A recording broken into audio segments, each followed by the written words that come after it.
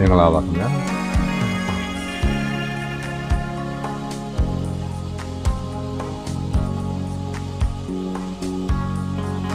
လင်းပညာရေးရဲ့ပညာဒါနဗီဒီယိုများဖြစ်ပါတယ်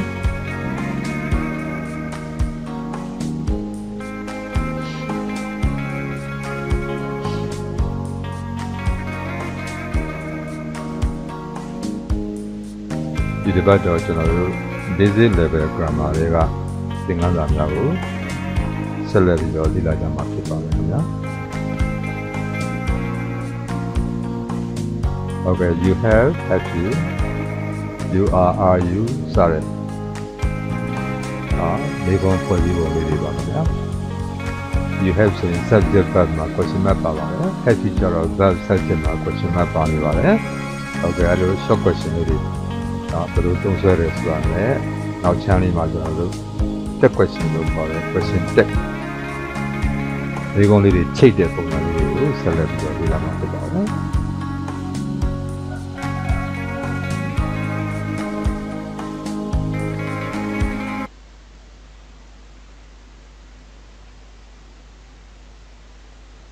ဟုတ်ကဲ့ကျွန်တော်တို့ပထမဆာမျက်နှာကိုစတင်ပြီးတော့လေ့လာကြည့်ရအောင်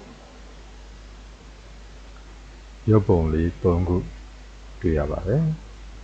ဘယ်ဘက်အစုံလုံးပုံလေးကိုချက်စီအောင်မြေသမီးက I'm writing a book ငါစာအုပ်တစ်အုပ်ရေးနေတယ်လို့ပြောတယ်အမျိုးသားကပြန်ပြောတယ် you are question mark မင်းရေးနေသလား what about ဘာကြောင့်လဲဆိုလိုတဲ့ဘောက you are subject နဲ့ verb ဖွဲ့စည်းပုံဆိုတော့လည်းပဲ question mark လေးနောက်ကကျွန်တော်တို့ ထည့်လိုက်တဲ့သဘောလေးဟာလေလေသိန်းလေးအရာသူအားအတင်သွားတဲ့သဘောတော့မလို့ရှိရင်လေလေသိန်းလေးအရာသူဟာစိတ်ဝင်စားသွားတဲ့သဘောလေးပါနေပါတယ်ခင်ဗျဟာဟုတ်လားမင်းရေးနေသလားဟုတ်လားဒါမျိုးသဘောလေးပါပါတယ်ဒုတိယပုံလေးကြည့်အောင်မြို့သားပြောပါတယ် I don't like Eric ငါ Eric ကိုမနစ်သက်ဘူးကွာလို့ပြော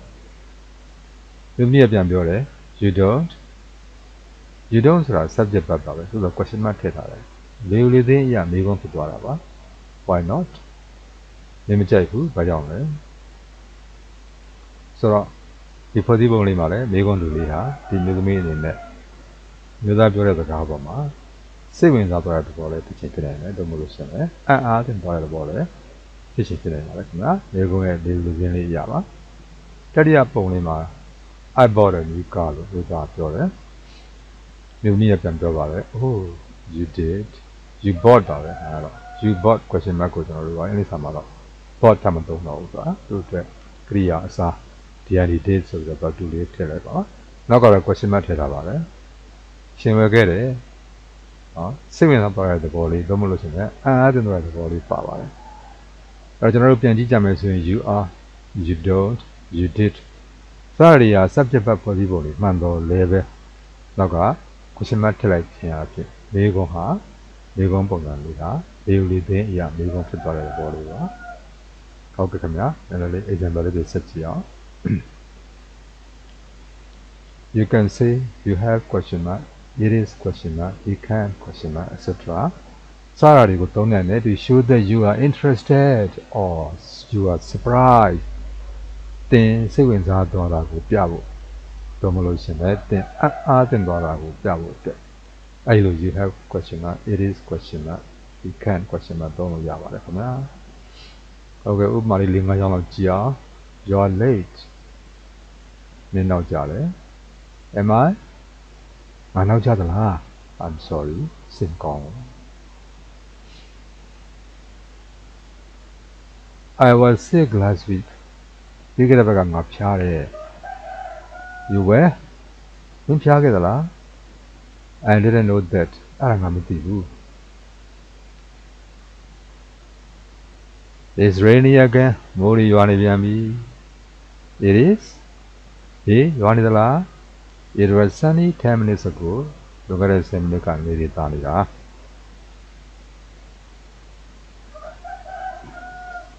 There's a problem with the car ကားနဲ့တော့ပြဿနာရှိပြန်ပြီ there is ah yatana chi bian mla what's wrong with the body fit da le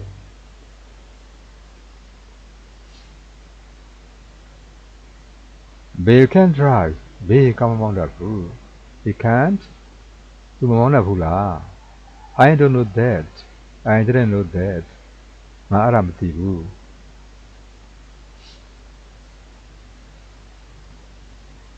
I'm not hungry. ငါမစားဘူး You aren't ဟေးနေမစားဘူးလား I am ငါတော့စားတယ်ဟာ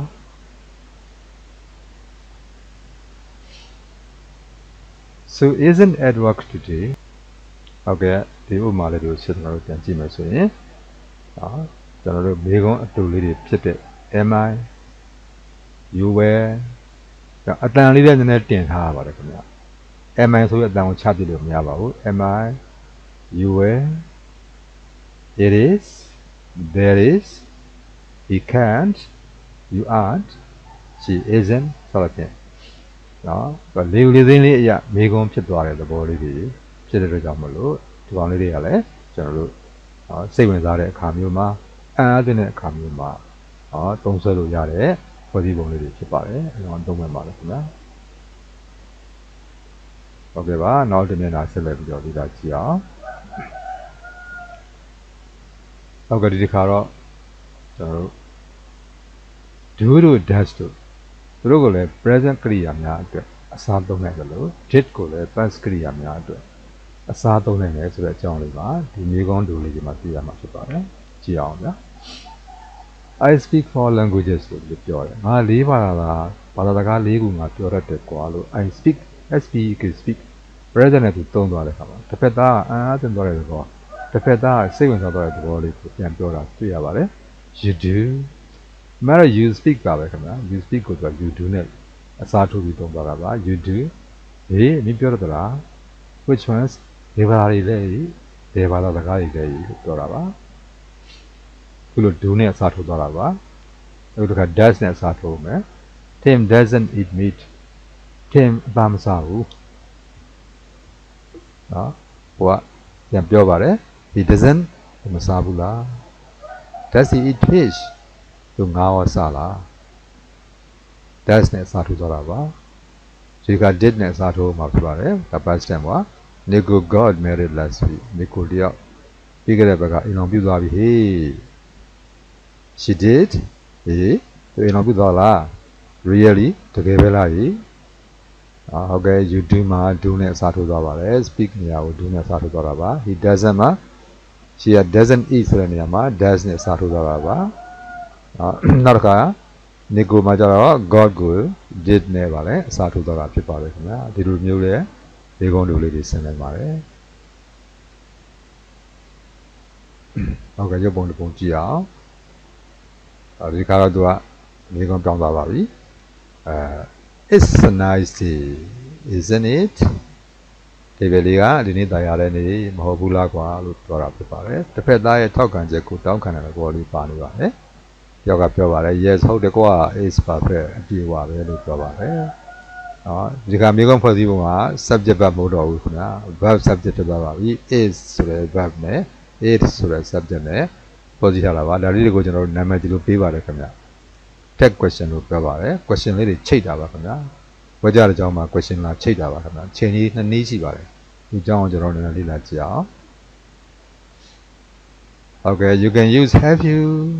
Okay verb subject ပါ you can use is it okay verb subject ပါ you can use can she okay verb subject ပါ at the end of a sentence ဝကြတဲ့အကြောင်းရဲ့အဆုံးမှာအဲ့ဒါလေးတွေကိုသုံးဆွဲပြီးတော့လာရောက်ပြီးတော့တွဲဖက်သုံးဆွဲချိတ်ဆွဲသုံးဆွဲနိုင်ပါတယ်ခင်ဗျာ tag question လို့ခေါ်ပါတယ် these mini questions are tag questions အဲ့ဒီမြေကုန်းတည်တည်လေးတွေကိုနော် mini ဆိုတာ small ပါခင်ဗျာ tag question လို့ခေါ်ပါတယ်ဗျာဟုတ်ကဲ့ tag question ကတော့သိပြီးတော့ဆန်းကြတော့မဟုတ်တော့လည်းပဲနီးနည်းရှိပါတယ်ခင်ဗျာဒါပထမနီးပါခင်ဗျာဒါကြည့်အောင်ကျွန်တော်တို့ affirmative sentence ဆိုလို့ရှိရင် negative tag question လေးချိန်ပါခင်ဗျာဥပမာအဖြစ်ဗျာတယောက်ကဒီဘက်ကဘယ်ပဲချမ်းပြောတယ်တယောက်ကညာပဲချမ်းပြောပြနေတယ် it's a nice day isn't it okay it's a nice day ဆိုတာကသူက affirmative sentence ပါချိတဲ့ tag question လေးက isn't it လို့ချိန်ရပါတယ်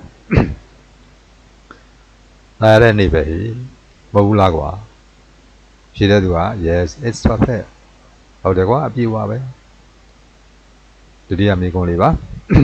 Anna lives in Portland doesn't she Anna Portland မှာနေတယ်ဟုတ်ကဲ့မေးခွန်းလေးက doesn't နဲ့သွားပါတယ်ခင်ဗျာ နော် does က not ကပါ negative that question လေးပါခင်ဗျာ Anna Portland မှာနေတယ်မဟုတ်ဘူးလား yes ဟုတ်ကဲ့ပါ that's right မှန်ပါတယ်တတိယဝါကြလေးကြည့်အောင် you close the window didn't you မင်းဘယ်မှာပိတ်ခဲ့တယ်ဟုတ်ဘူးလား yes ဟုတ်ကဲ့ပါ i think so ကျွန်တော်လည်းဒီလိုပဲတွေးပါတယ် those shoes are nice aren't they ဖလက်ဒီကတော့သိကောင်းတာပဲကွာဟုတ်ဘူးလား yes ဟုတ်ကဲ့ပါ very nice သိကောင်းပါတယ် Tom will be here soon ဟုတ်ဟီတုံတယောက်ဒီမှာဒီနေရာမှာမကြခင်ရှိလိမ့်မယ်ဟုတ်ဘူးလားဟီ yes ဟုတ်ကဲ့ပါ probably ရှိကောင်းရှိပါလိမ့်မယ်ဗျာဟုတ်ကဲ့ဒီမှာဒီ isn't it တို့ doesn't she တို့ didn't you တို့ aren't they တို့ won't he တို့ဟာ that question တွေဖြစ်ပါတယ်သူတို့ဟာ affirmative sentence တွေကိုလာပြီးတော့ချိန်တဲ့အခါမှာ negative question တွေချိန်ရပါတယ်ခင်ဗျာဒီဘေကတော့ဘာမှเนาะအစမ်းတည်းမဟုတ်ပါဘူးမဟုတ်ဘူးလားဟေလို့တစ်ဖက်သားရဲ့ထောက်ခံချက်ကိုတောင်းဆိုရတဲ့ဘောလေးဖြစ်ပါတယ်ခင်ဗျာပရိထားမှာကတော့ affirmative sentence ဆိုရင် negative that question နဲ့ချိန်ပါပဲသူကရိယာလေးတွေကိုပဲပြန်သုံးပြီးတော့ subject ကနေရာပြောင်းကြည့်တာပြောင်းလိုက်တာပါ verb subject ဖြစ်သွားပါတယ်ဘုဒ္ဓရိယနေ့တွေဆက်ကြည့်အောင်နော် ဒီခါတော့သူကပထမအနေနဲ့နည်းနည်းလေးတဘာဝချင်းပြောင်းမှဖြစ်သွားတာတွေ့ပါလိမ့်မယ်ဟုတ်ကဲ့ negative sentence ဆိုရင်ကျွန်တော်တို့က affirmative that question ချိန်ပါခင်ဗျဒီလိုမျိုးပါခင်ဗျ that isn't your car ဒါ negative sentence ပါခင်ဗျဒါမင်းကားမဟုတ်ဘူး isn't it sorry is it ဟုတ်လားဒါမင်းကားမဟုတ်ဘူးဟုတ်လားဘာမှအဓိပ္ပာယ်ထွေထွေတော့ဟုတ်ပါဟုတ်လားဆိုတဲ့ဟာတပတ်သားရဲ့ထောက်ခံချက်ကိုမေးတဲ့သဘောလေးပါ နော် no it's my mother's မဟုတ်ပါဘူးကွာဒီကငါအမေကပါ you have haven't met my brother sorry you haven't met my mother have you မင်းငါအမေကိုမတွေ့ဘူးဟုတ်လားဟာသိပြရထွေထူးမဟုတ်ပါဘူးဟုတ်လားလို့မေးတာပါ no i haven't မတွေ့ဘူးပါဘူးကျွန်တော်ခင်ဗျားအမေကိုမတွေ့ဘူးပါဘူးလို့ပြောတာပါ Emily doesn't go out much does she Emily တယောက်အပြင်ကိုအများကြီးမထွက်ဘူးဟုတ်လား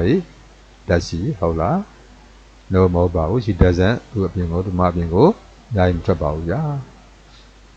you won't be late will you မင်းနောက်မကြဘူးမဟုတ်ဘူးလား sorry ဟုတ်လား no i never late ဟုတ်ပါဘူးဗျာကျွန်တော်တစ်ခါမှနောက်မကြပါဘူးဗျာနော်ဒါတော့ကျွန်တော်တို့ရှေ့မှာတွေ့ခဲ့တဲ့